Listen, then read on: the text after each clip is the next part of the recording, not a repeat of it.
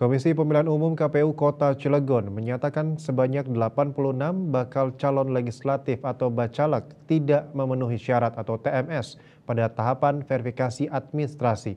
Ketua KPU Kota Cilegon, Patcur Rohman, mengatakan berkas para bacalek tersebut dikembalikan kepada partai politik untuk segera dilakukan perbaikan sebelum dilakukan penyusunan rancangan daftar calon sementara atau DCS pada 12 hingga 17 Agustus 2023. Komisi Pemilihan Umum KPU Kota Cilegon telah melakukan verifikasi administrasi perbaikan dokumen persyaratan terhadap 552 bakal calon legislatif.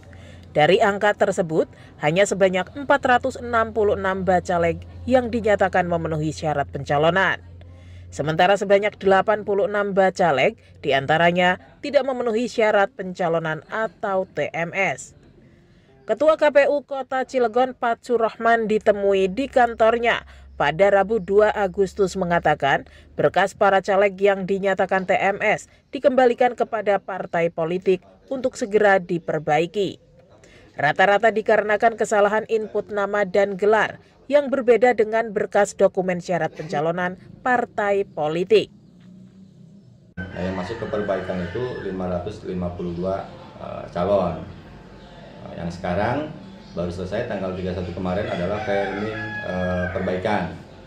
Nah, perbaikan itu sehingga diketahui 86 calon itu adalah e, eh, TNS gitu.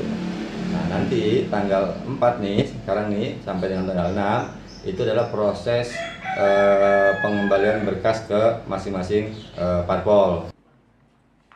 Ia menambahkan, selanjutnya partai politik melakukan pengembalian berkas bacaleg TMS yang telah diperbaiki kepada KPU Kota Cilegon pada periode tanggal 6 hingga 11 Agustus mendatang.